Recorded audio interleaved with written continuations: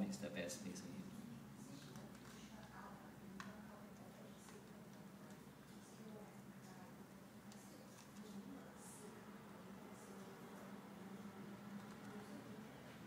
No wonder last week right, it's not so well that they was like sleeping.